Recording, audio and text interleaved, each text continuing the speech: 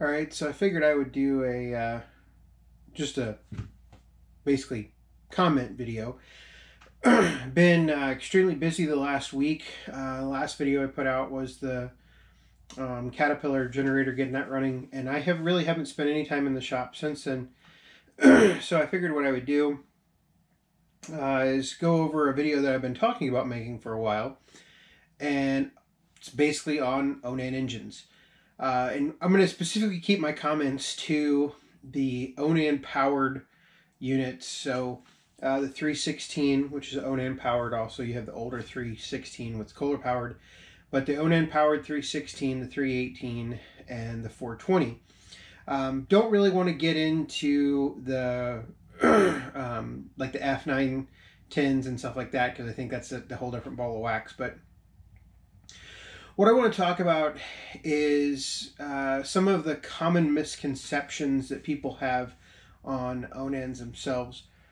and certainly a misconception that I had when I first got into uh, working on these machines.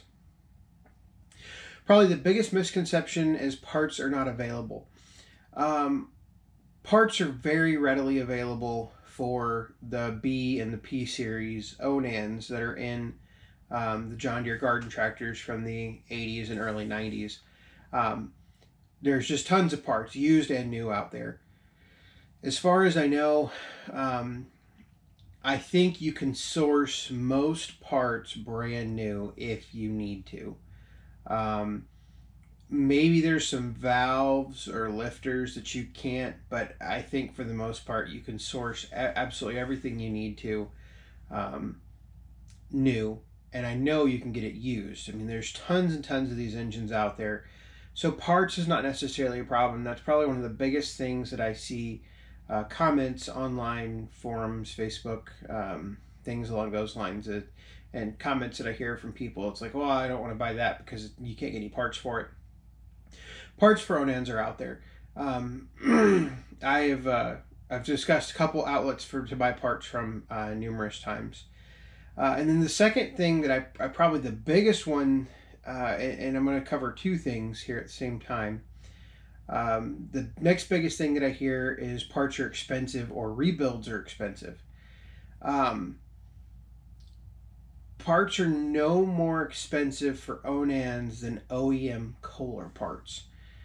now that doesn't mean that Stens parts aren't available or, or reproduction parts uh, they are not readily available for Onans, but Kohler parts have uh, Kohler's a much larger market, uh, so there were more more machines had Kohlers in them, whereas the Onans, you know, fewer more commercial grade machines had Onans, so Wheelhorse.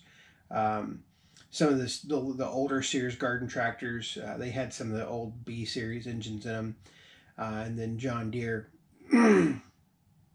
and I don't know about Bolens or not. I'm not. I'm not an expert at all about Bolens. Um, but a lot of people say that the, the parts themselves are expensive. When you know, I would say on a, a on an OEM basis, they're no more expensive than Kohler, and on a new basis, um, like a, a reproduction parts, Kohlers are going to be cheaper to rebuild. Period. Um, now, one of the things that people often tell me is, well, they're expensive to rebuild. Onans are not necessarily uh, technically expensive to rebuild, but what a lot of people do is they type in Google rebuilding an Onan, and then you have this myth out there that rebuilding an Onan is going to cost you a minimum of eleven to twelve hundred dollars by the time you buy the oversized pistons and the oversized rods and the valves and et cetera, et cetera, et cetera and I haven't looked in many years, but onanparts.com may actually, I mean, they, they used to have whole kits that were like 1200 bucks, and they're probably much more than that now. Uh, comes with the gaskets and everything else that you need uh, to rebuild an engine. Oftentimes, uh, these Onans, the B and the P series, do not need to be rebuilt that way. Um, you can have, and this is where you get into some of the more um, opinionated parts, and, and I, I mean, my opinion is my opinion. Uh, you can take it with a grain of salt. Um, a lot of times, if you have a thousand hour Onan engine and it's smoking, it's down on compression, oftentimes you can get away with pulling the engine apart, uh, putting new rings in, making sure that there's nothing wrong with the cylinders, honing the cylinders, and putting it back together, and that engine's going to be serviceable for another 500 or 1,000 hours. And frankly, you shouldn't be using these machines in a commercial setting anymore. Um, they're almost 35, 40 year old technology at this point. Um, I mean, from 1983, we're talking, you know, development of the 318 was probably took place in, in 80, 81, 82. Um, you know, it's, it's 40 years old at this point. It's a 40 year old machine. And so there's no reason to be using those machines for commercial service. And that's not to say they can't, but it, you probably should not be. And so if you take apart an engine and, you know, invest $300 in putting it back together, um, I don't necessarily see a problem with that. I mean, I, I rebuilt a P218 and converted it to a P220, so I bought the carburetor and the, the camshaft and I had less than five hundred dollars in the rebuild, and it's the it's the actual engine that I have in my 318, which subsequently is now has a valve problem, but that is probably on my end. It's not necessarily something wrong with the the engine itself. That's probably strictly a, a problem on my end that I eventually have to answer that question and actually get back to it. And so when you start talking about the expense of an Onan and rebuilding it, um, don't always assume that the engine needs a full and complete rebuild because oftentimes they do not. One of the biggest misconceptions or one of the biggest issues that I see is people try to order parts before they have the engine torn apart. Um, biggest piece of advice I can give to anyone wanting to rebuild an Onan tear it apart, then determine what you need. And I'm talking make an individual line item of the gaskets, uh, you know, down to the, okay, I need this gasket, this gasket, this gasket, because oftentimes it's actually cheaper to buy individual gaskets than it is to buy an entire set because, you know, sometimes you don't need an oil pump gasket set. Sometimes, you know, you don't need a, um, you don't need a, a point and condenser cover set. Um, you know, the list goes on. You know, maybe you have a gasket around from something else, or you know, so on and so forth. It's just there's no there's no need for some of those gasket sets.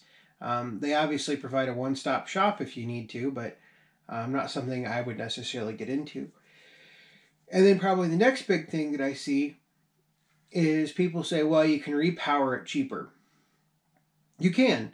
Um, you know, if you're talking about a full rebuild of an Onan engine, I think you can. Uh, you can probably put a Predator engine from Harbor Freight in there um, for you know decent money. I mean, five six hundred bucks. I don't know what a Harbor Freight engine runs right now.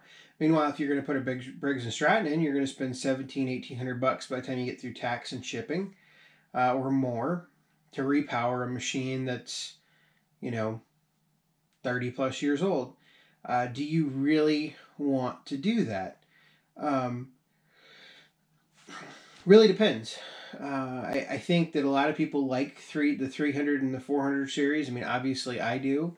Um, it goes back to that commercial service. Um, you know, if you if you like the machine and you, you like the ergonomics of it and you like using it and you got all the attachments and that's all you're going to use, I don't see a problem at all with going and, and putting a you know 17 1800 dollar repower in one. Um, I think it makes you know if you if you enjoy it, go for it. But I think one of the things that people do is they assume that a repower is worth more than the original Onan, and I think that's really in the eyes of the buyer. Um, for me personally, I'm never going to value a repower worth more than an original engine um, because I am an Onan fan. Now, Onans, like I've said, are 40 year old, 40 plus year old designs, probably 50 year old designs. And um, you know, it's one of those deals that I, I just don't. I see a repower if you're going to use it, but but one of the words of caution I would give you is if you're going to repower a machine like a 318 or 420, make sure that's a machine you want to keep for a long period of time. Um, that's a piece of advice I would offer. So to kind of sum up this video before it gets you know too terribly long on my thoughts on Onan engines, um, you know, parts are out there. There's not there's not a, a, shortage of parts or gaskets or anything like that that I know of. Um, parts are not nearly as expensive as most people think. Rebuilds are not as expensive as most people think. And repowers, you know, six of one, half dozen the other. It's up to you if you want to repower it, repower it. Um, you know, but but think long and hard about if you're going to use that machine and and how you're going to use that machine in the future. And do you really want to invest that 17, 1800 bucks into the repower um, and then turn, you know, in a year and a half and sell it for something new? Um, and I'm actually going to do a follow up video directly after this one that'll come out. Um, I haven't decided if I'll, I'll, release it 24 hours or 48 hours later. But I'm going to do a, a, the next video will actually be on um, my thoughts on new machines. So I will uh, save that for the next video. Thanks for watching.